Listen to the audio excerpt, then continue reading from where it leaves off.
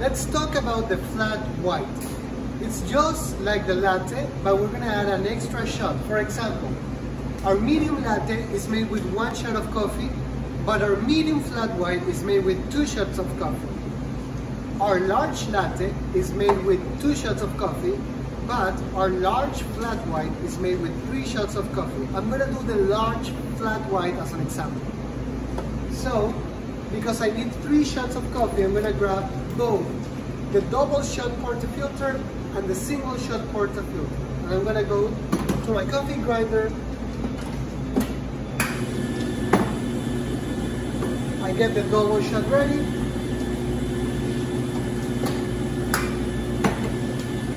And I get the single shot ready. And now, I'm just gonna extract the coffee on my cup. And while this is happening, I'm gonna do the steam milk like I will like I would normally do it for a latte.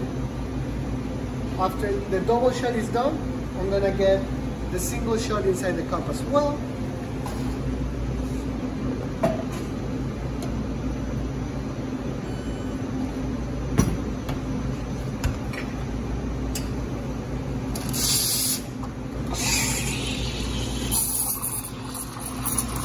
I steam the milk the same as a latte.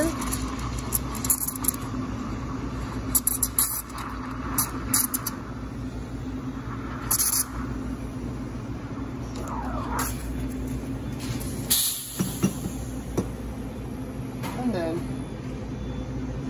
pour it in the cup and give it to the customer.